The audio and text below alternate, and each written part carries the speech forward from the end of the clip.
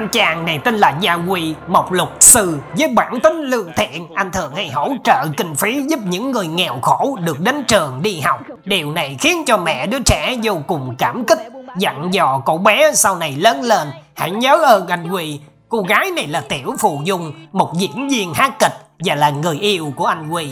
Thằng này là Cao Hồng, một đại ca xã hội đen nhưng lại biết sử dụng màu sơn đạo thuật tu luyện tà công làm cho cơ thể đau thương bất nhập.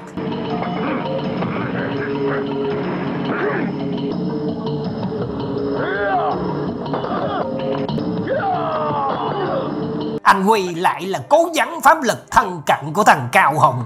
Trong một lần xem hát, thằng Cao hùng đã để ý đến Tiểu Phù Dung.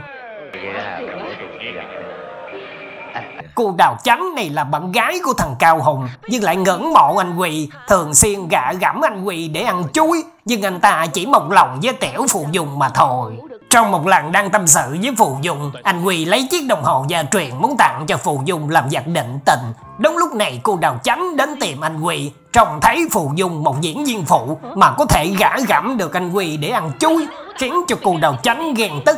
Muốn trừ khử Phù Dung, anh Huy ra tay ngăn cản, Không may làm cho cô ta trúng phải cánh quạt trần, Chết ngay tại chỗ sau sự việc, Tiểu Phù Dung vô cùng lo lắng, sợ rằng thằng Cao Hùng sẽ trả thù. Anh Huy lập tức bàn giao chứng cứ tài liệu phạm tội của thằng Cao Hùng cho một luật sư để khởi tố Cao Hùng.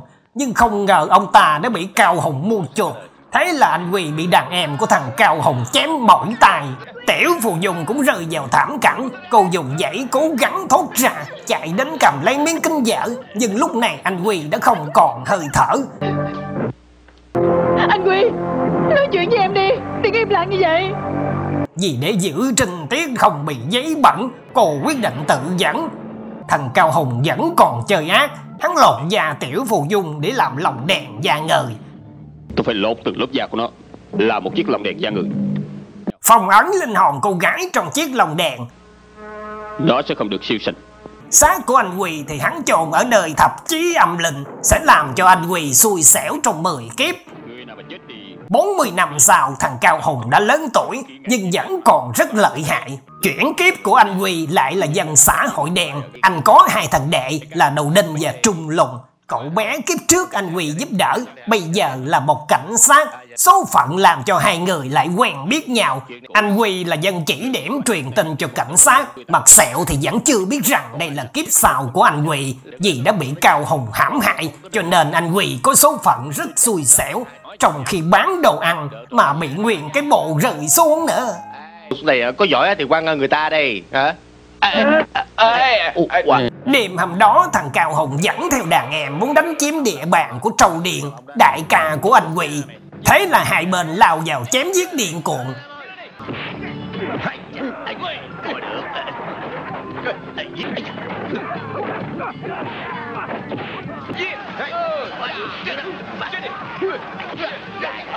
Bằng nhóm của thằng Cao Hùng quá mạnh, anh huy bỏ chạy ra ngoài để thoát thân. Mặt sẹo hay tình dẫn theo cảnh sát chạy đến, lập tức bắt hết đám xã hội đen dị độn.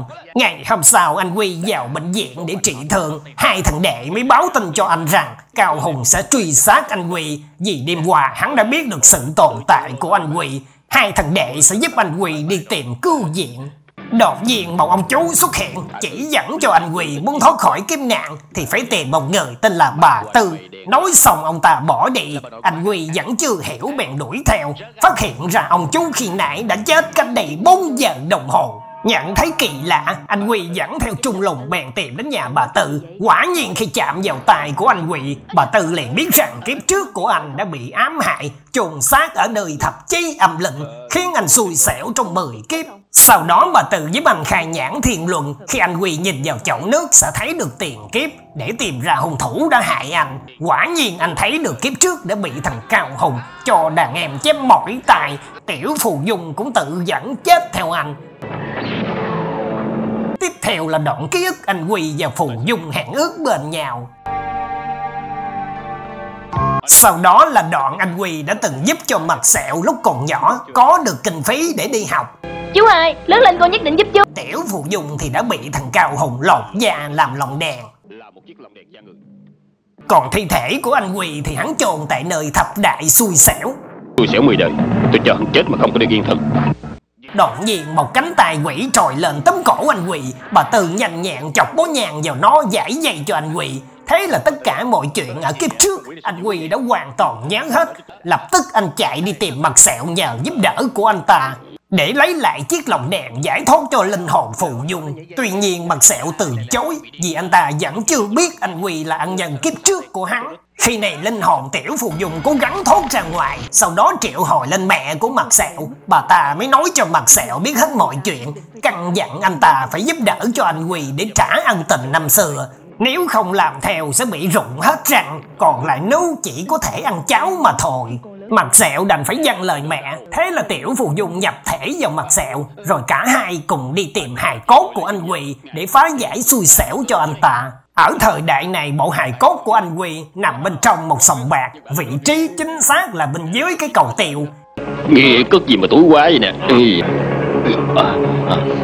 Anh Huy thì ở bên ngoài đánh bạc để thu hút sự chú ý của thằng đại ca. Vận xui đeo bám khiến cho anh Huy thua liên tục. Lúc này mặt sẹo đã đào lên được bộ hài cốt. Quả nhiên làm cho anh Huy trở nên may mắn liên tục thắng cược. Hơn mà nè hai mươi mốt. Thằng đại ca tức giận bèn đi toilet. Nhìn thấy đồng tiền trong tấm vải đỏ thằng đại ca nhặt lên vô tình giải thoát phòng ấn cho một con quỷ là cu đào chánh năm xưa đã bị anh Huy và Phù Dung giết hại. Tất cả đám cờ bạc liền bỏ chạy. Anh Huy mau chóng gọi cho bà Từ để hỏi cách đối phó con quỷ. Thông qua chiếc micro, anh Huy khớt đại câu niệm chú của bà Từ đánh đuổi con quỷ đi. Bà nhà bà la bạn, bà nhà bà la bạn, bà nhà bà la bạn, bà nhà bà la bạn, bà nhà bà la bạn.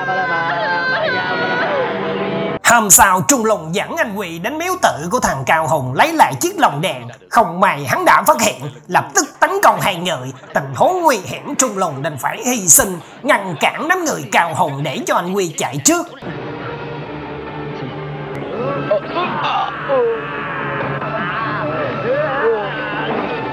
Phía này mặt sẹo chôn bộ hài cốt của anh Quỳ tại mộ quyệt của tổ tiên thằng Cao Hùng để chiếm lấy giận mày của hắn. Khi về đến nhà đột nhiên quỷ đỏ xuất hiện tấn công hai người.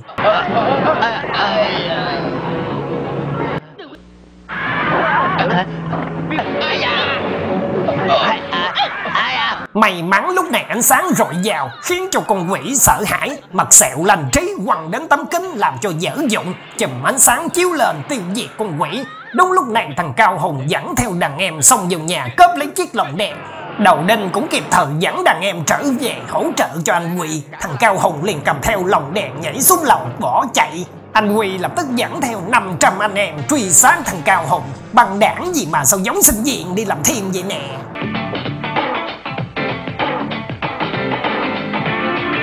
Tuy nhiên Cao Hùng xảo quyệt, dẫn đàn em trốn vào đồn cảnh sát. Anh Huy tấm lòng đại lượng, chỉ muốn lấy lại chiếc lồng đèn để giúp tiểu phù dung được siêu thoát thì mọi ăn quán với Cao Hùng sẽ xóa bỏ. Tuy nhiên thằng ác ma này hung hãn, không chịu đồng ý mà còn bắt lấy ông tổng trưởng làm con tình. Hắn đuổi tất cả ra bên ngoài khóa cửa lại, chỉ còn lại anh Quy và mặt sẹo ở bên trong. Nhanh tài mặt sẹo đấm Cao Hùng bật ra sao. Tuy nhiên thằng Cao Hùng có tu luyện đạo thuật màu sơn tà công nên sức mạnh và thể chất hơn hẳn người thường.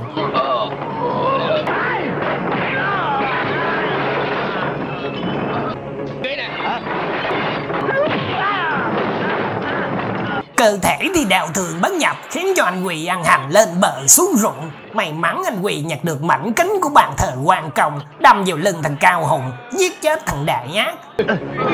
Tiểu phụ dùng cũng được siêu thoát. Bộ phim đến đây là hết rồi. Nhớ like và subscribe nhé anh em. Cảm ơn anh em đã quan tâm và theo dõi. Tạm biệt anh em.